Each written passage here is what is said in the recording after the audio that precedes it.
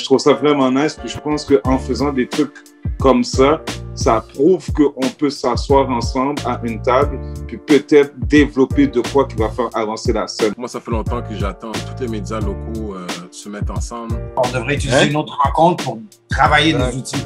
Pour les, les gars qui, qui come up, là, sécuriser leur futur même, au niveau euh, monétaire. Là. Que ce soit l'immobilier, que ce soit les business, que ce soit euh, stocks, whatever. Comme ce serait bon justement de montrer ça au, au come up là, pour que plus tard, eux, ils soient bien.